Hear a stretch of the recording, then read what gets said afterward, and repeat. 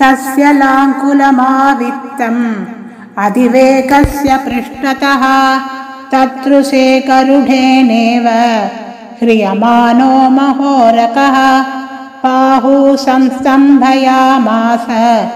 महापरिकसन्निभौ ससादस्य कविकट्याम्।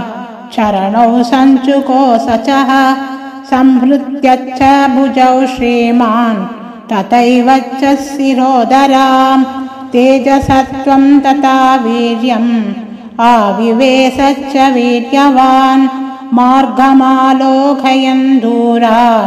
ऊर्ध्वम् प्रणिहिते क्षणः रुरोदहृदये प्राणान् आकाशम् अवलोकयन् पद्भ्याम् दृढमवस्थानम् कृत्वा स कविकुञ्जरः कर्णौ हनुमान् उत्पतिष्यन्महाबलः वानरान् वानरश्रेष्ठ इतं वचनमब्रवीत्। यथा राघवनिर्मुक्त सरस्वसनविक्रमः कच्चेतत्त्वत्कमिष्यामि।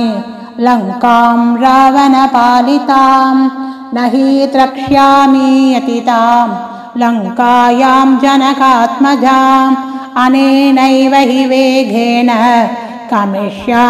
सुरालयम् यति वा तृतिवे सीताम् न द्रक्ष्यामि कृतश्रमः पत्वा राक्षसराजानम् आनयिष्यामि रावणम् सर्वथा कृतकार्योऽहम् येष्यामि सह सीतया आनयिष्यामि बालङ्काम् समुत्पाट्य स रावणाम् एवमुक्त्वा तु हनुमान् वानरान् वानरोत्तमः उत्पपादातवेगेन